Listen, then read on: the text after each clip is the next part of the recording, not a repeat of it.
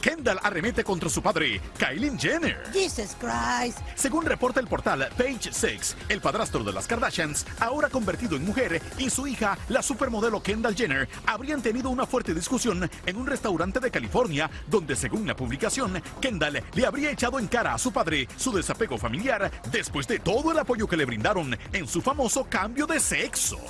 El motivo del divorcio son diferencias irreconciliables. Eh, a- a- después de esto, hablan de su acuerdo de divorcio. Y quiero decirles que esto fue muy, pero muy civilizado. Ellos llegaron a un acuerdo de